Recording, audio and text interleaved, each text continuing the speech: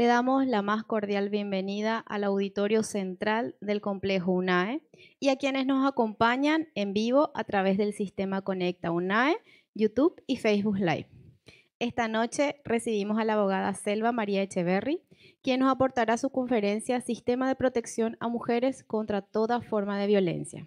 Selva María es asesora para el fortalecimiento institucional en la ruta de atención a la violencia contra la mujer y asesora de la Comisión de Equidad Social y Género de la Cámara de Diputados.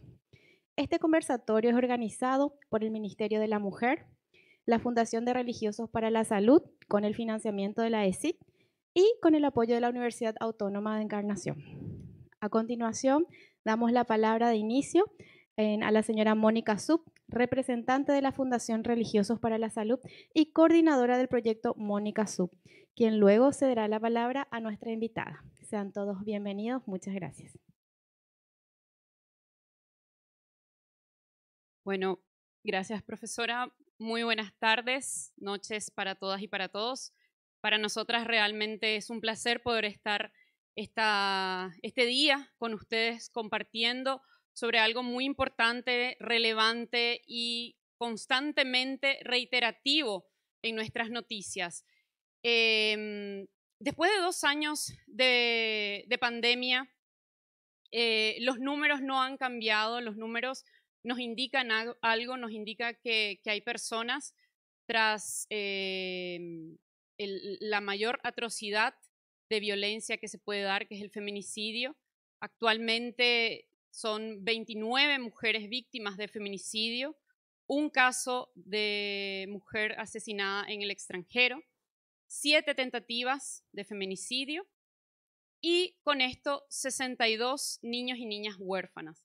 Entonces, hablamos de violencia constantemente porque los números nos requieren y nos dicen, eh, tenemos que seguir trabajando en esto.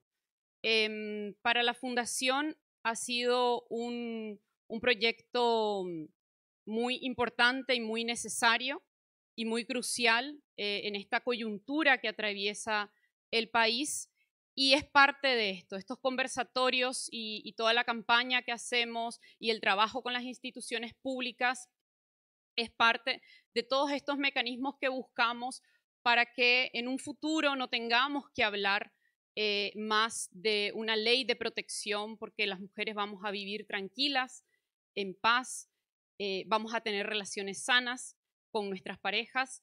Em, entonces, nada, agradecerles a la Universidad Nacional, eh, perdón, a la Universidad Autónoma de Encarnación eh, por esta apertura, que desde un principio dijeron que sí, y eso es algo muy importante. Sabemos que las universidades son clave para el trabajo de sensibilización, de información Acá no sé quiénes son los estudiantes de Derecho, yo sé que ahí están los profesores Enrique Fornerón, que trabajamos muy de cerca, y la profesora Delcy Santa Cruz, que también nos conocemos hace muchos años.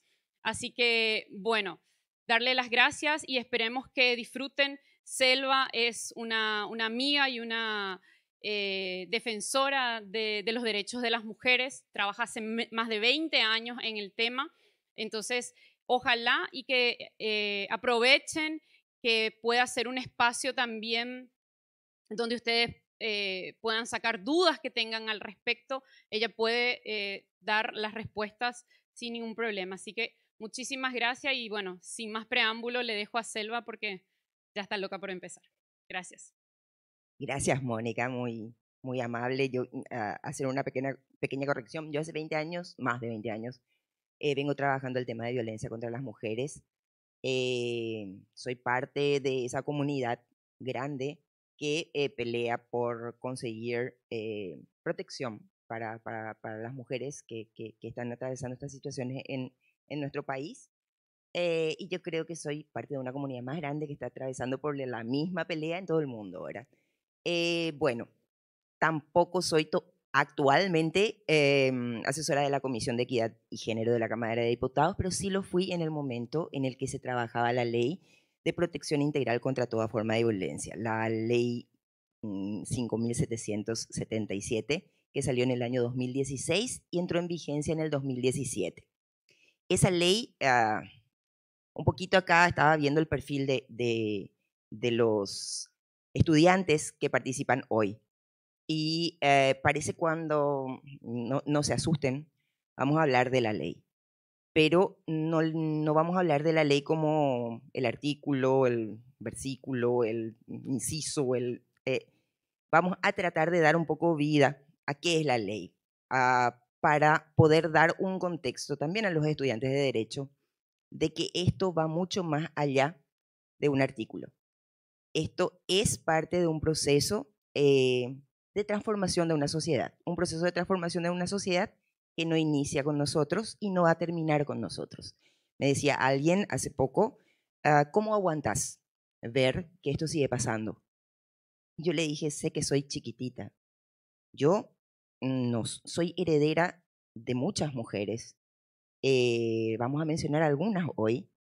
Eh, soy heredera de muchas mujeres y lo que yo hago, yo no voy a ver los resultados pero así como generosamente pelearon por mi protección mucho antes de que yo naciera, yo voy a, no voy a cortar esa línea eh, de pelea y me voy a ir tranquila de que eh, hicimos lo posible. Esta sociedad es una sociedad en la que mm, yo puedo venir acá a plantearles un tema, pero yo no tengo la decisión de hacer una transformación. La transformación o la hacemos colectivamente como sociedad o esa transformación no va a darse. La transformación es trabajo y para eso necesitamos muchas personas comprometidas. Y el compromiso y la responsabilidad tiene que ver también con la capacidad. Y estar en la universidad en el año 2022 es un privilegio. Yo agradezco enormemente a mi universidad el haberme dado formación. Eso me dio herramientas para poder trabajar sobre la realidad y construir uh, conscientemente algo diferente a partir de, de, esos instrumentos y esas herramientas que me dio la universidad.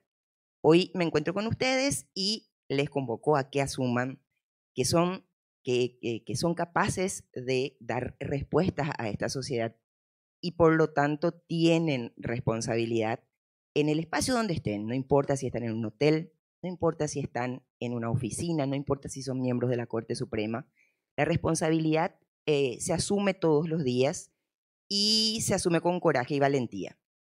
Básicamente, hablar del sistema de protección a las mujeres contra toda forma de violencia habla de protección. Pero ¿por qué proteger? ¿Por qué protegemos? y para entender cómo aparecen estas leyes, leyes que les decía no son simples leyes, tenemos que entender de dónde salieron y salieron de una sociedad que opera y funciona de una manera diferente, con hombres y con mujeres. Una sociedad que hace ciertas cosas, que construye ciertas formas de relacionamiento y ciertas formas de límites que hacen que eh, aparezcan situaciones en las que hay que proteger a alguien. Cuando hablamos de protección hablamos generalmente de situaciones de vulnerabilidad. O sea, no estamos hablando solo de mujeres, estamos hablando de, personas con discapacidad, estamos hablando de eh, personas con ascendencia racial, cosa que hoy en día está completamente, eh, es, es anacrónico hablar de razas. El mapa del genoma humano demostró que todos estamos atravesados por un ADN que eh, se mueve por el mundo y que vino de todas partes, pero hablar de derechos humanos y de derechos humanos de las mujeres tiene que ver con el hecho de que hay vulneraciones a estos derechos. Para saber cómo, cómo estamos hoy, tenemos que mirar un poco cómo estábamos, ¿verdad? Digamos que estamos en 1900 y esta es la sala de la Universidad Nacional de Asunción, probablemente la única sala que existía de una universidad. Eh, y supongamos que el auditorio está completo y probablemente aquí no haya una sola mujer. No esté la rectora. Extrañaremos a nuestras profesoras porque van a desaparecer. No hay mujeres. A pesar de que la docencia es en 1900 una profesión femenina, prácticamente, la docencia para niños es femenina, pero en la universidad es probable que no encontremos absolutamente nadie que sea mujer. Pero vamos a encontrar a una mujer. Una cosa rara avis. La vamos a encontrar sentada en medio de un auditorio lleno de hombres, con docentes hombres, con rector hombre, haciendo un esfuerzo por conseguir herramientas para transformar una sociedad que ella ve como injusta. Encontramos a la doctora Serafina Dávalos, que se recibe de la Facultad de Derecho y en 1905 presenta una tesis doctoral titulada Humanismo. Está publicada eh, y está en las redes esta, esta tesis doctoral y ustedes tienen que ver lo interesante que es que en 100 años hay cosas que todavía continúan, cosas que preocupaban a Serafina, pero todavía continúan. Pero Serafina no, no, no se le hizo fácil ser la mujer que estaba sentada aquí. Ella tuvo que soportar todo el juicio social. En primer lugar, por supuesto, padres que se preocupaban, porque si ella estudiaba no iba a conseguir marido. ¿Qué marido iba a querer una mujer con quien discutir algo? ¿Qué marido iba a querer una mujer que por su grado de formación probablemente tuviera razón y contradijera la norma social que impone, no, no, no. Acá lo que pasa es que por naturaleza las mujeres somos emocionales y los hombres son los racionales. Era una persona que no encajaba. Paseaba por las calles para llegar a la facultad y las propias madres empujaban a sus hijitos adentro para que no vean a una chica con libros, porque era un mal ejemplo. Ah, aún así, eh, eh, ¿por qué es importante hablar de Serafina? Porque Serafina muestra un rasgo fundamental para hacer cambios, el coraje. Porque el coraje no es obedecer a lo que este mundo te dice, aquí está tu límite. Y pensemos un poquito desde qué obedecemos hoy en día. ¿Qué, normas obedecemos hoy en, día? ¿De qué cosas nos reímos hoy en día? Ah, cuando hacemos chistes con, respecto a las capacidades de las mujeres, eh, cuando en la cancha ah, no aparece el compañero del equipo porque se fue a la casa de la novia. ¿Qué chistes aparecen? ¿Qué castigos estamos dándoles a las personas por romper todavía esta misma regla? El hombre es racional, no emocional. La mujer es emocional, no racional. ¿A quién se les dice? No llores porque o si no vas a ser una nena. A las nenas, hasta hoy día escuchamos que a los niñitos chiquititos con dos glándulas lagrimales en los ojos le siguen diciendo ese tipo de cosas. Y ser consciente de que nosotros estamos construyendo una forma de vernos a nosotros mismos y también una forma de vincularnos con los otros. Porque si la masculinidad está solamente asociada con la fuerza, con una sola emoción permitida, el enojo, ningún compañero de la cancha de fútbol hace chistes cuando un hombre se enoja. Porque esa es una emoción que está permitida para el hombre. No se le permite llorar, no se le permite alzar una muñeca y aprender cómo consolar a un bebé, como a nosotras nos enseñan desde muy pequeñitas. Por esa asociación que tiene que ver con que las mujeres son emocionales y los hombres racionales. Pero ¿qué consecuencia tiene 20, 25 años después? Tiene consecuencias en, nuestra, en, en la forma en la que nosotros somos capaces de asumir o no responsabilidades, responsabilidades parentales, responsabilidades afectivas. Y esas amputaciones tienen costos, pero esos costos terminan recayendo de manera diferente sobre hombres y mujeres esos costos terminan siendo parte, perdón, puse al revés, ahí, terminan siendo parte de eh, algo que afecta de una manera sobredimensionada del lado de las mujeres que son precisamente en esta graduación de lo emocional y lo racional las locas, las que eh, no, no, no tienen luego control sobre sí mismas, las siempre dentro de un grado degradado. ¿Por qué decirle a un niñito, no llores porque vas a ser mujercita? Es una ofensa. Es una ofensa no al niñito, a las mujercitas. Se le está enseñando que ser mujer es ser menos. ¿Sí? Y ser menos es algo inaceptable. Nosotros tenemos una sociedad que pasó y atravesó por diferentes reformas. Esas reformas tienen que ver con el derecho al voto. Paraguay habilitó el derecho a votar a las mujeres en el año 1961. O sea, nosotros tenemos apenas un poco más de 50 años de derecho a voto de las mujeres en Paraguay. En 1987 se estaba haciendo el estudio de un nuevo código civil. Nosotros usábamos el argentino prestado. Y en ese marco aparecían normas que tenían que ver con cómo estaba vista la sociedad, en la sociedad una mujer. E inmediatamente después de su aprobación, cuando cae la dictadura, entran las mujeres a pelear por reformas. Y allí es donde consiguen la posibilidad de administrar también los bienes de la sociedad conyugal consiguen derechos no solo para ellas, sino para sus hijos. Hasta 1991, los niños y las niñas de este país estaban clasificados en legítimos e ilegítimos. Y eso tenía que ver con tener o no tener papá. Y eso se marcaba en su cédula. Y ese, esa marca de la cédula era llevar un solo apellido. Las mujeres pelearon para que sus hijos adquieran sus dos apellidos y no sean distinguidos en la sociedad de una manera discriminatoria con el solo hecho de presentar su nombre. Pelearon por el derecho a acceder a la herencia en igualdad de condiciones que los hijos legítimos.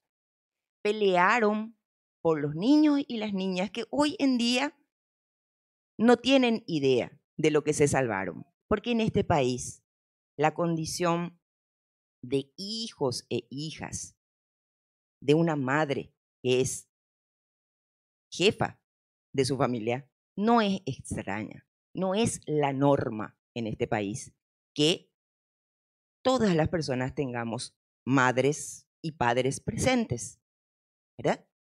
Entonces, hay una necesidad de ver qué le hacemos a los niños cuando castigamos a las mujeres. Y eso plantea en 1990 un grupo de mujeres. ¿Por qué? Porque no eran los hombres los afectados. Entonces, vos siempre le vas a encontrar en la sociedad a que los que empujan las reformas son las personas que están más afectadas, las que sufren las consecuencias de una manera diferente.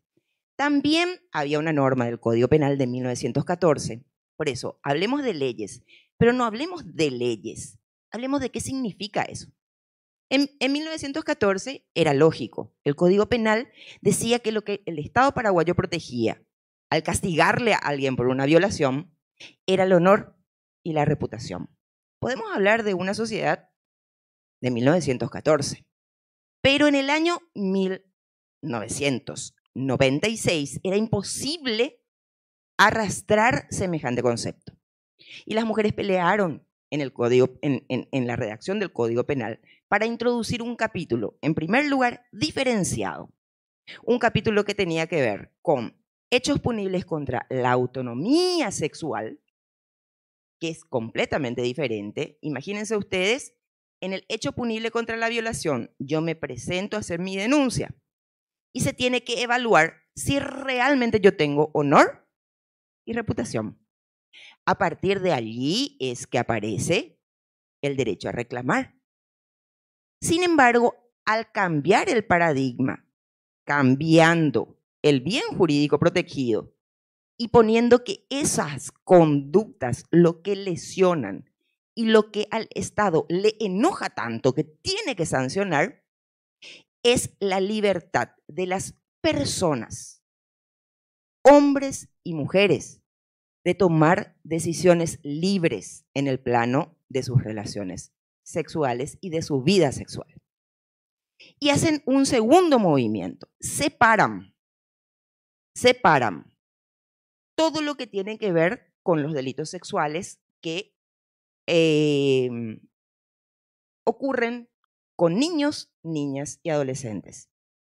Entonces aparece, todavía no había en el 96 un código de la niñez y la adolescencia, aunque ya teníamos ah, una convención, pero aparece el eh, hechos punibles contra menores.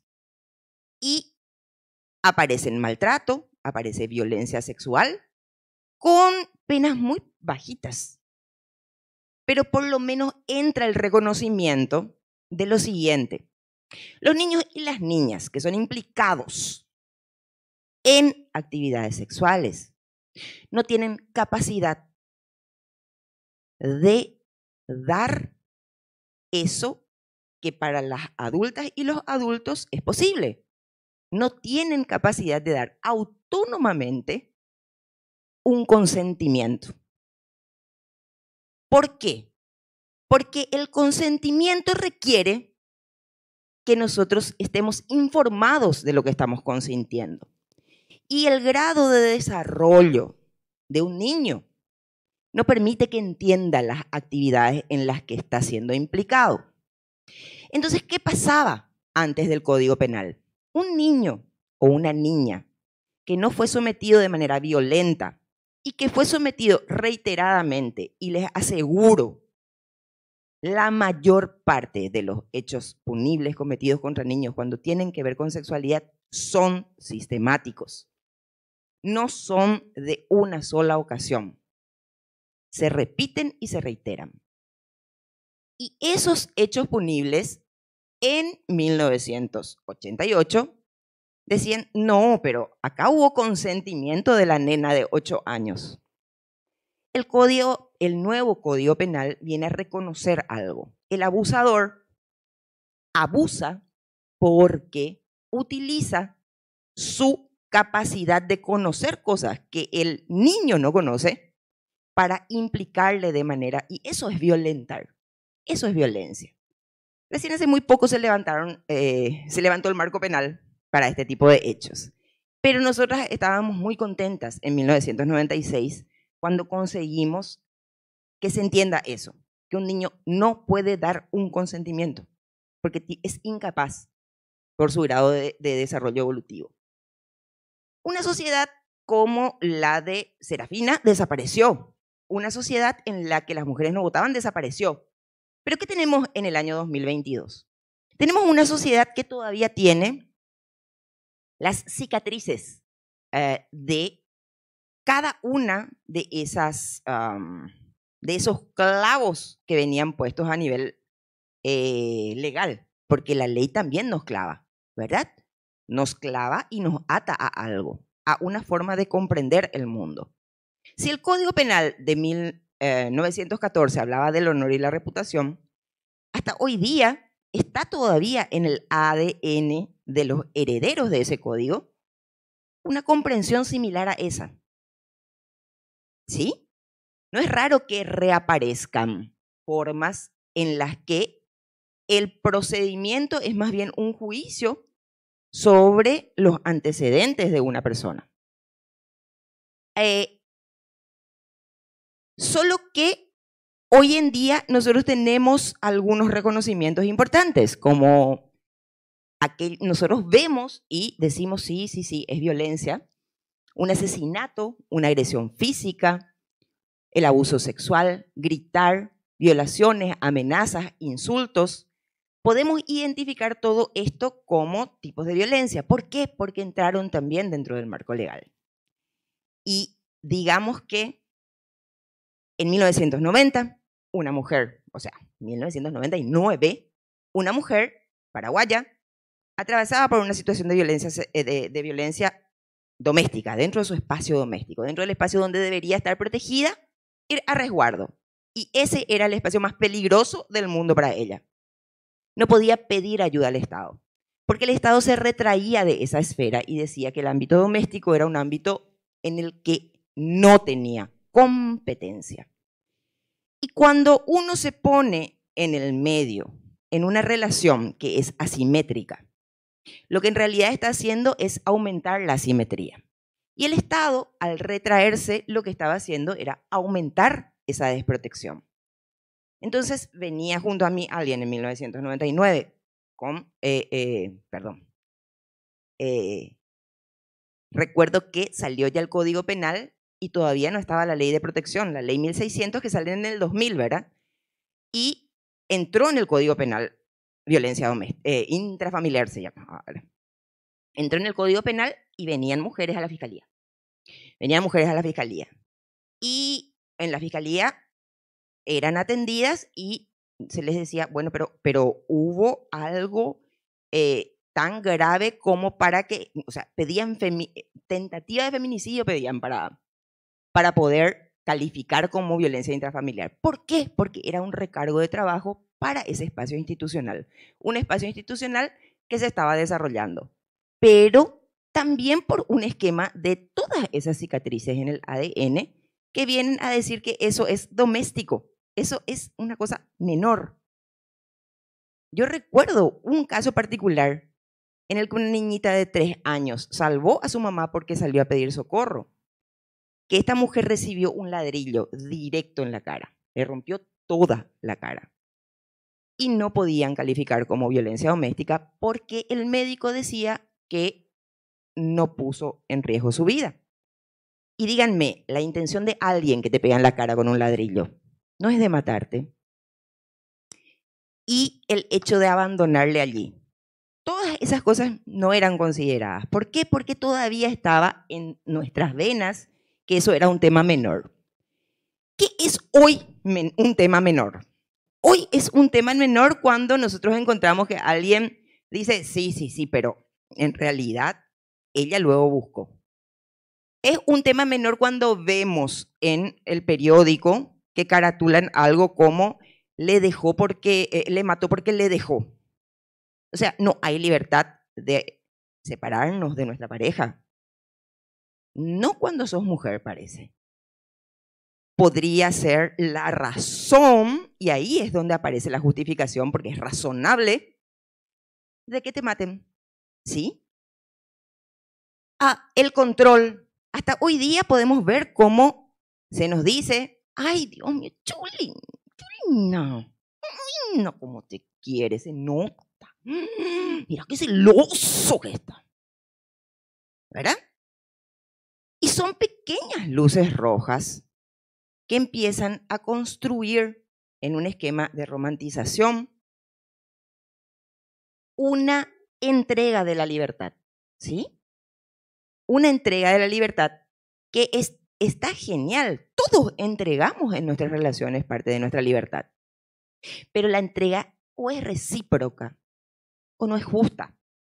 Cuando te piden que entregues toda tu libertad y no hay absolutamente ninguna, eh, no, no, no hablamos de contraprestación porque no es un acto contractual, es un vínculo afectivo, no hay una responsabilidad del otro lado que se asuma también contigo.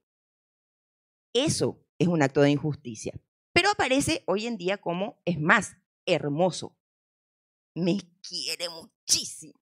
Me adora, me ama.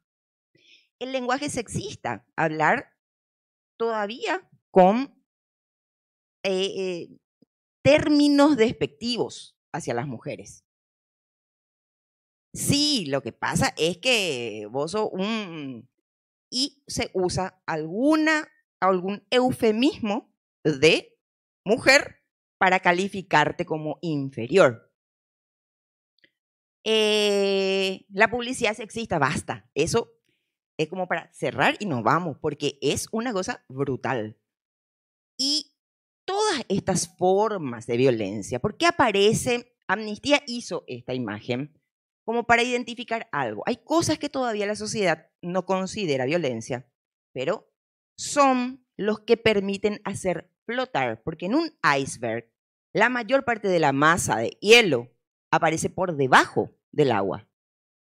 Lo que vos ves es una tercera parte, no, mucho menos, una cuarta parte de lo que es la masa de hielo por encima del agua. Lo que vos ves es una cuarta parte.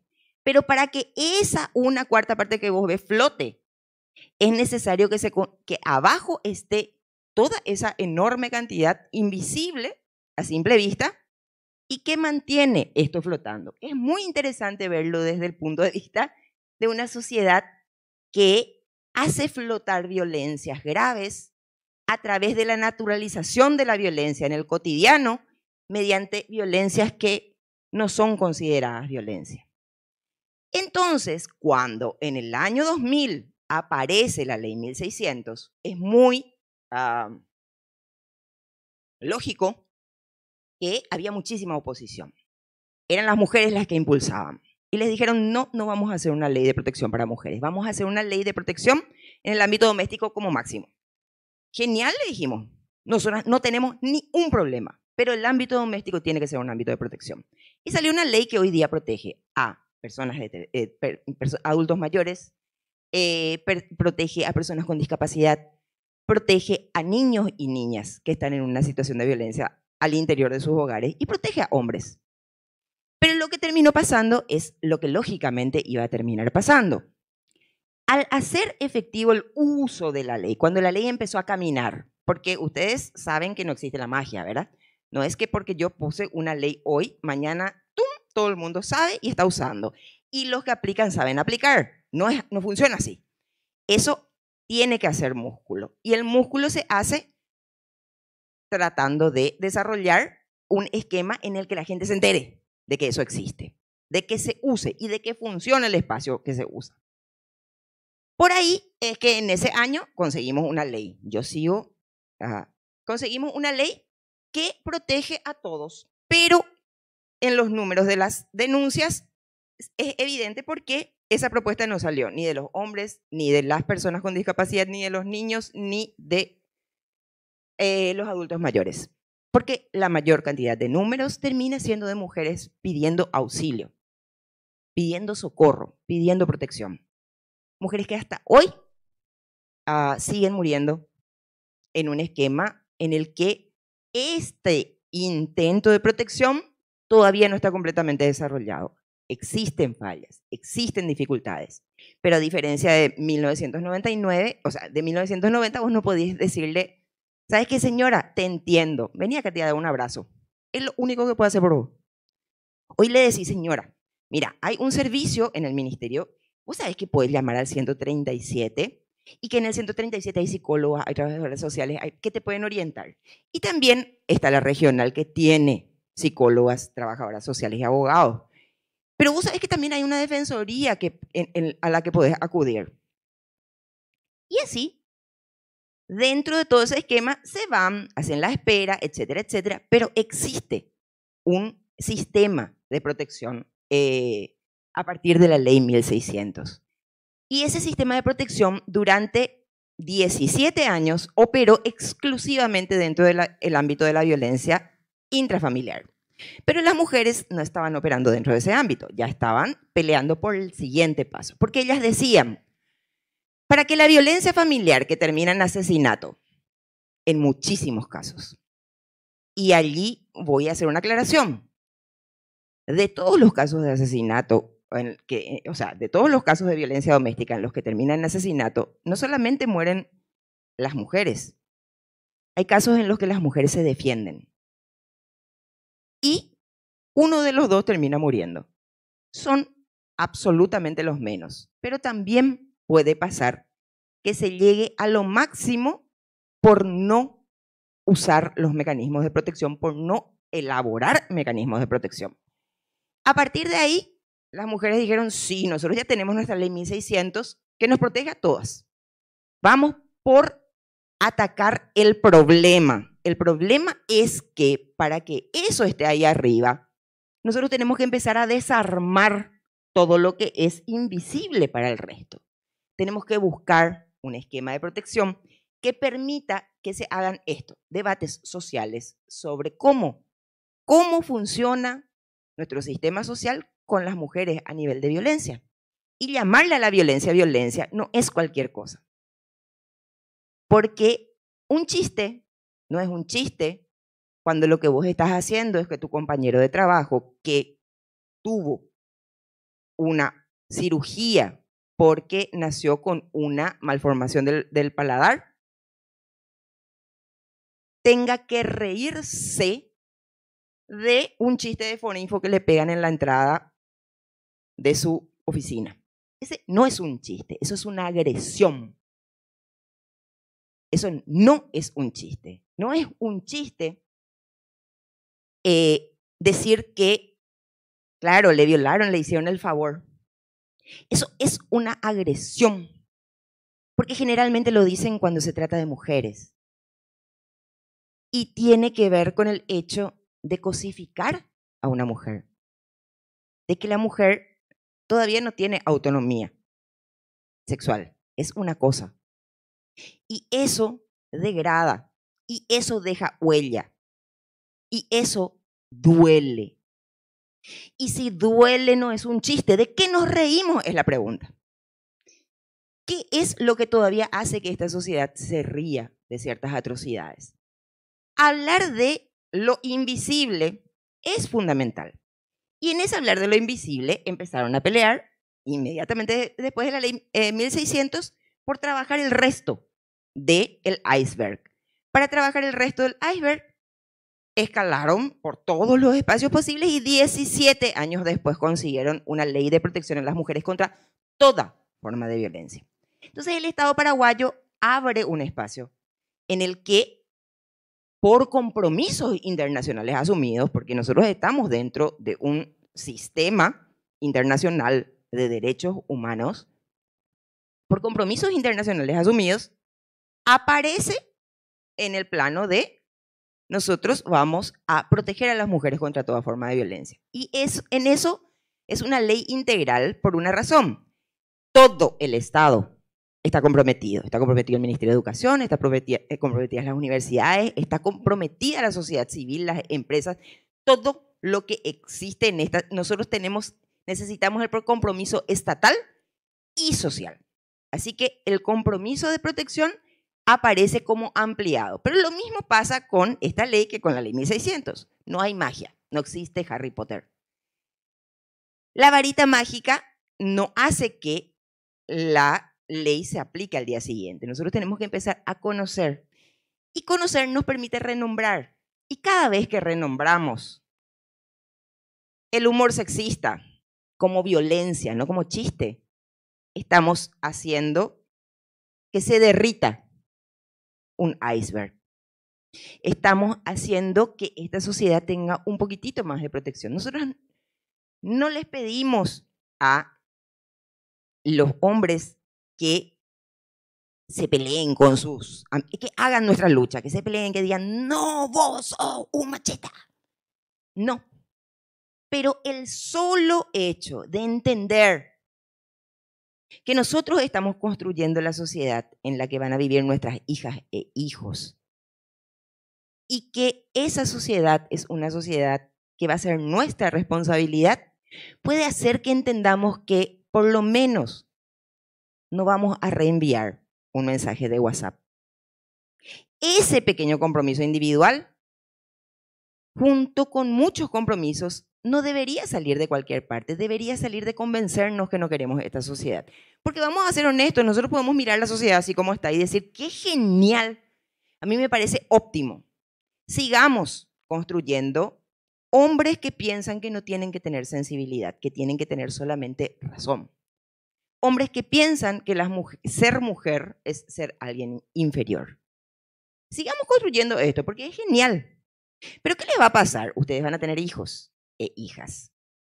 Y así como los papás y las mamás de ustedes actúan de manera sesgada con respecto a los varones que con las mujeres, va a llegar el día en el que van a tener que dejar que sus hijas salgan a la calle. E igualito que sus mamás y sus papás, odian ustedes parecerse a sus mamás y sus papás. Pero si no cambian la sociedad, van a ser igualitos. Perdón por asustarles, pero funciona así. Hay que cambiar la sociedad para no ser igualitos a ellos, porque ellos responden a una sociedad. Cuando tu mamá te escanea porque sos nena, che, así, así te vas a ir vestida, pero no, pero no, te maquillaste, ¿para qué? Y este y lo otro, ¿y por dónde te vas a ir? ¿Y quién te va a acompañar? Y cuando tu hermano dice, me voy a jugar fútbol en shortcito, sin remera, y sale a la calle y nadie le dice nada, es una forma de tratamiento sesgado. Vos estás haciendo un sesgo para analizar la salida de tu hija que la de tu hijo. Y eso es porque nuestros padres, estoy hablando de los míos también, de los míos que a los nueve años me dijeron, mi hija, no te sonrías porque pueden pensar cualquier cosa. Y muchos años después tuve que aprender que esta sociedad tiene adultos que piensan que porque una niñita de nueve años le sonríe, les está pidiendo algo que, como hay una niñita acá, no puedo decir. Pero es eso. Entonces van a parecerse a sus padres, van a estar aterrorizados con respecto a sus hijas. Nosotros necesitamos una sociedad diferente, necesitamos ir haciendo desaparecer ese voy a pasar directamente. Porque una ley de protección a las mujeres es simple, porque la Constitución Nacional establece un esquema de equidad. ¿Qué significa eso? El artículo sobre igualdad trae una pequeña acotación marginal al fondo. Dice que el Estado es responsable de derribar todas las trabas para que la igualdad sea efectiva. Eso significa que tiene que poner ciertas condiciones de protección a las personas que no están siendo protegidas para que accedan a los derechos en igualdad de condiciones. Y eso está representado aquí con la idea de igualdad y la idea de equidad con cajas. Un partido de fútbol o de béisbol, en este caso, en el que están tratando de mirar tres personas, uno muy bajito, otro medio bajo y otro alto. Si le ponemos las mismas cajas, uno solo va a poder mirar. Pero para poder conseguir que todos miren necesitamos tener mm, eh, un sistema diferenciado. ¿sí? ¿Para qué es esto? Para poder dar cumplimiento a lo que es el sistema legal de eh, compromisos constitucionales, compromisos internacionales asumidos por acuerdos, compromisos legales de protección a través de la ley 1600 y la 5777 y que tienen que llegar hasta el espacio local, ¿verdad? Esos compromisos no se hacen por eh, magia. Esos compromisos tienen que ser desarrollados a través de políticas estatales.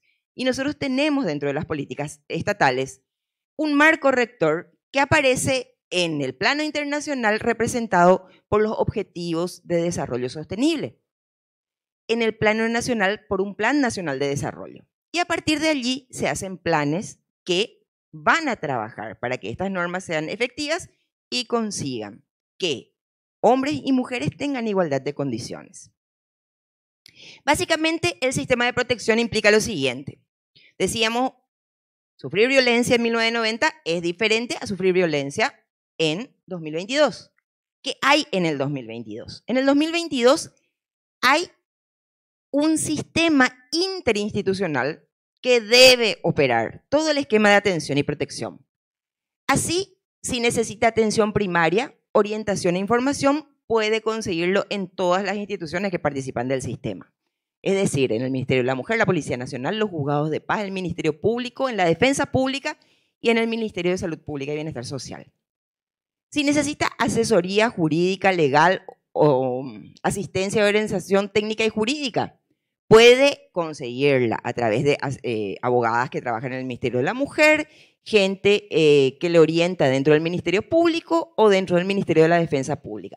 Para el patrocinio legal, la ley 5.777 estableció que las mujeres pueden ir a un espacio a ser em, patrocinadas gratuitamente a través del hecho de que están sufriendo una situación de violencia. Les doy un caso específico a los estudiantes de Derecho. Una mujer a la que su expareja le dejó con una deuda gigantesca. Pero para refinanciar su deuda, para refinanciar su deuda, ella necesita de su firma y necesita, no tiene su firma. Entonces, a esos efectos, puede ir a la Defensoría Especializada para conseguir que le hagan la disolución de la sociedad conyugal.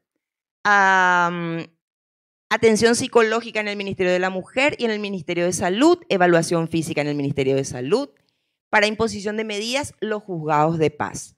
Para denuncias, y ese es el último punto con el que voy a cerrar, una presentación básica del sistema de protección.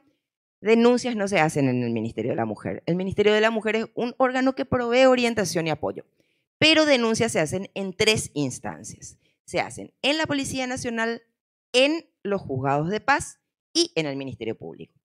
Entonces, cuando nosotros llamamos al Ministerio de la Mujer y pensamos que estamos denunciando, no es así. Estamos obteniendo orientación y ellos nos van a decir dónde denunciar, ¿sí? Bueno, básicamente la idea era invitarles a repensar su sociedad, repensar la sociedad en que vivimos, ver si están de acuerdo. Si están de acuerdo, genial. Si no están de acuerdo, saber que es cambiar esta sociedad es un trabajo y que necesita de personas formadas como ustedes para eso. Y por último, entender que si ustedes piensan que están por fuera, no lo están. Si ustedes no toman decisiones conscientes sobre la sociedad que quieren construir, alguien va a tomar por ustedes. Profesora, muchísimas gracias por el tiempo. Muchísimas gracias a usted. Adelante. Adelante, profe.